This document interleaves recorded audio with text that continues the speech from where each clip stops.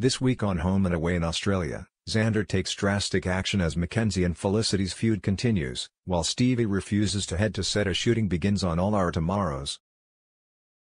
She's the lead actress in All Our Tomorrows, the new rom-com which is about to begin filming in Summer Bay. Yet as the first day of production rolls around, the usually confident Stevie Marlowe is nowhere to be found. Lead actress Stevie had brought Remi to the fancy house where she and Nelson were staying, but Neelan had the same idea, whisking Bree away from Summer Bay on the back of his motorbike to their luxury pad. Seeing Bree and Nelson kissing wasn't enough of a shock, Remi was in for the surprise of his life when he saw his ex happily jump on the back of Nelson's motorbike.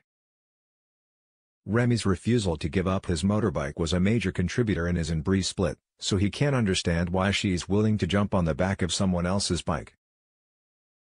Seeing his ex move on with someone else proved surprisingly difficult for Remi, and he came to the realization that he couldn't keep dating Stevie, especially as most of their hookups ended with them practicing lines together.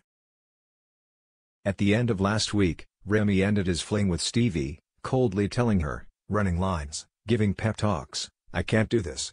I'm not your boyfriend. I'm out. Later, Stevie tried to reassure Remi that she wasn't looking for a boyfriend, but when she tried to continue with their no-strings-attached fun, Remi shot her down once again. Stevie then joined Cash and Eden for drinks at Salt, and the pair were shocked to see just how quickly Stevie was downing her cocktails. As Cash reminded her that she had an early start the following morning, she dismissed him, telling him she could handle a few drinks. Yet, on the morning that production of All Our Tomorrows was set to begin, Stevie was nowhere to be found. When Cash finally tracked her down, he found her emotional on his sofa, where she told him that she's not a real actor, and that she's not doing the film.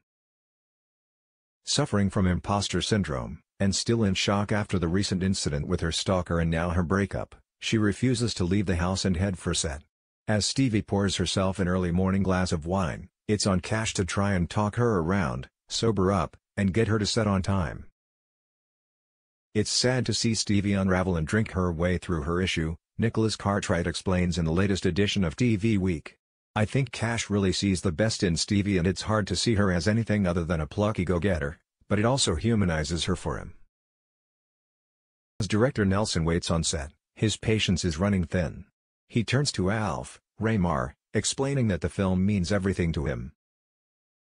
Stevie knows that they're working to a very tight budget and can't afford any delays, so why is she throwing their dreams away? Will Stevie make it to set?